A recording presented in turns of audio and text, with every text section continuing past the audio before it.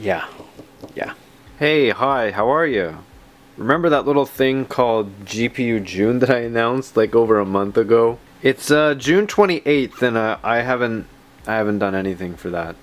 Okay, that's not entirely true. I actually did have like three different ideas, but every time I went to make a video, yet again, another obstacle got in my way. Today's obstacle was this.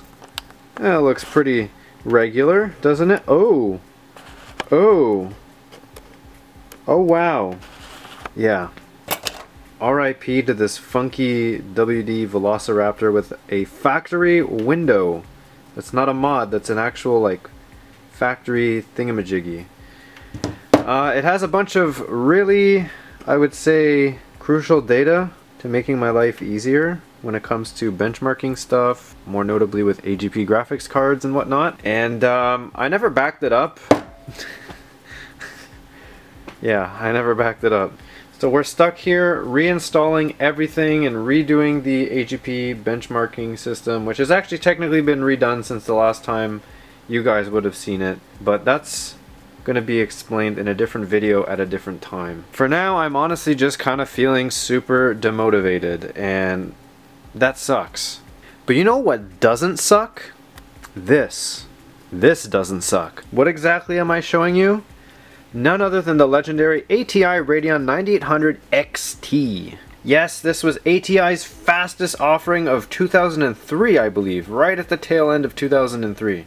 Based on the R360 core, which actually had, I believe, a slightly bigger die size than R350, which is what the 9800 Pro had, this is the fastest thing you could get from ATI, and it was the rival to the GeForce FX 5950 Ultra. And much like the 5950 Ultra, really all it was was just the same thing as the 9800 Pro, but with some minor clock boosts. That's about it. It was quite an expensive card for what little you actually got out of it, now, most 9800 Pros, at least the R350 base ones, almost all of them were 128 meg cards, whereas the GeForce FX, usually the high-end ones like the 5900 Ultra, were 256 megabyte cards. So there was that advantage of more memory, but at this time, like, 128 was definitely plenty. So basically what you got with the XT was some slight clock boosts, and double the memory. At the time, it really didn't make any sense to buy this card. It really wasn't that much better than a 9800 Pro. However, today I don't want to look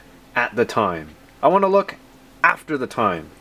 How does this thing compare in games that came out well after its release? As much as I am biased to the GeForce FX series, because I absolutely love it, it's a definitely well-known fact that the 9700 Pro and the 9800 Pro were legendary cards that honestly were way ahead of their time. So if you sprung out in 2003, honestly kind of right before the release of the X800 series, would it have been worth it? Well, let's find out in today's GPU June video, where we take this 9800 XT and throw some later DirectX 9 titles at it, things that came out a year or maybe even a couple years after it. One thing to note is that I no longer have a 9800 Pro to compare it against, so we can't see like how much better would it have been against the 9800 Pro and later titles, which is a little bit unfortunate. But again, today's video is just does it even work well in games that came well after it? And while I'm reinstalling Fear, I thought I would very quickly go over the new AGP test bench and what will be used to actually benchmark this GPU for the tests coming up shortly here. We've got an Intel Core 2 Duo E7500 running on an ASRock 4-core dual SATA 2. Hopefully this should alleviate most, if not all, CPU bottlenecks we could face with the older 939 setup I had and the Opteron 180. You can see the main board right here, 4-core dual SATA 2 running on the VIA PT880 Pro. And as for the driver for the 9800 XT, uh, this is all mumbo jumbo to me. I have no idea if this is Catalyst 8 or Catalyst 7. There's like all these different numbers here.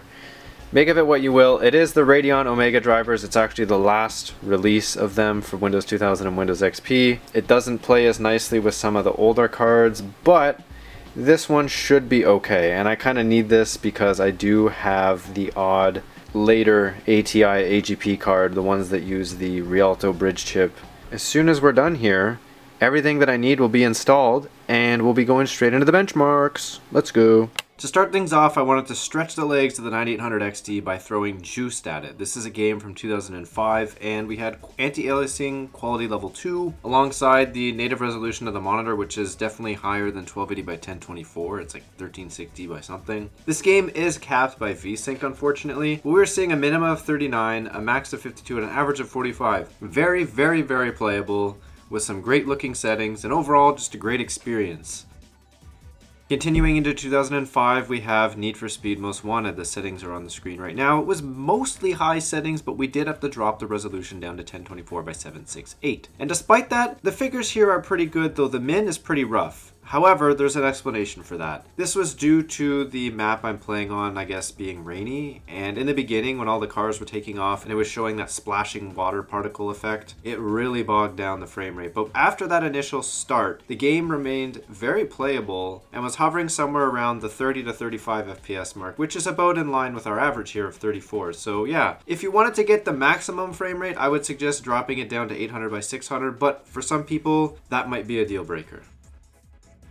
Next up was Portal, and this is actually a pre-Steam Pipe version of Portal, so I think it's like 2011, maybe 2012, something like that. Either way, min 35, max 86, and an average of 59, so not bad at all. Uh, the min is a little, little rough, but you know what? That only really happened when you were looking through portals, which I guess is kind of most of the game. But really, it wasn't that bad. It was not like a very disturbing, noticeable hitch. So yeah, I would say this was actually one of the better performing games so far.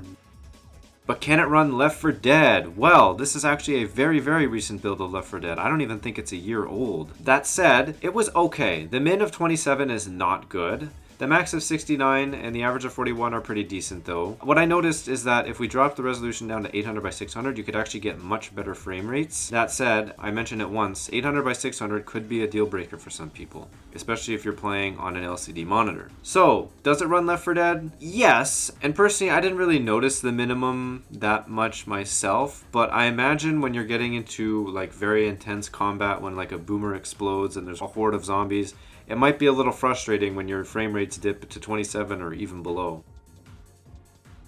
And to end things off, we're going all the way back to 2005 again with Fear. As I've said many times before, and as I'm sure you're all pretty much aware at this point, Fear is a very intense game, but you can also dial it back so much that it runs on quite a lot of stuff actually if you're okay with potato visuals. That said, we tried to get a balance of medium graphics on here with 1024 by 768 as our resolution, and the minimum of 32, the max of 137, and the average of 57 shows that the frame rate is all over the place here. But, you know what? I actually played the game instead of running the benchmarking tool, and I personally found it to be reasonable. It definitely was a little bit annoying when you would get to that 32 mark, but it didn't really distract from the combat or anything. So again, this would be pretty decent for the time, especially given that this game came out two years after the GPU did, so not too bad. Well, there you have it. The 9800 XT is actually surprisingly okay.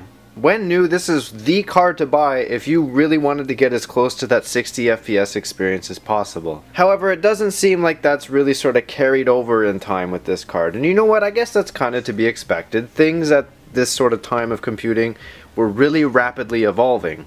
What was new, fast, and modern would quickly become obsolete in just a matter of months. And I think that's kind of why nobody wanted this card, or rather nobody really bought it, so I should say. Because it had come out already very late in the R300 product life cycle, and there was something big that wasn't quite around the corner, but it was in the not so distant horizon. R400 would debut just a couple months after the release of the 9800 XT, and it absolutely blew R300 out of the water. For about the same price, you would get something that would run the latest greatest games at damn near 60 FPS, and anything prior to it at 60 FPS basically guaranteed. That was really insane for the time too. And so very quickly, the pricey 9800 XT was, was overshadowed by the far more attractive X800 XT Platinum Edition. And I kind of think that's why these Radeon 9800 XTs aren't really that common because, well, if you were buying this kind of hardware, chances are you knew what was going on in the world of PC parts and hardware and whatnot, and you knew that this thing was coming up. So it really didn't make much sense to drop about $400 on this when it only provided what we can assume and understand to be marginally better performance than a 9800 Pro when the X800 series was just right around the corner and was probably going to cost about the same. But still, nonetheless, the 9800 XT does hold its ground pretty reasonably well in games that came after it. Of course, we do have to make sacrifices like dropping the resolution to 800 by 600 if you want to get a higher than sort of 35 to 45 average FPS experience or maybe bring your mins up a little bit. Or if you're not okay with doing that and you want to run at like 1024 by 768, well then you're going to have to make some graphical quality sacrifices. But overall, it is able to run things much newer than it reasonably well. And with how fast things were evolving at that time, I'd say that's pretty respectable. I mean, think about it. The GeForce 4 series of cards that came out like what a year prior to this thing, they're absolutely limited by DirectX 8, even though for the time they were monstrous cards, they were so quickly obsolete. So yeah, I gotta give credit to ATI, even though this thing doesn't really make that much sense, it's cool, and it did last quite a while. Anyways, thanks for watching, hopefully you enjoyed this video, and I will see you in the next one. Bye bye.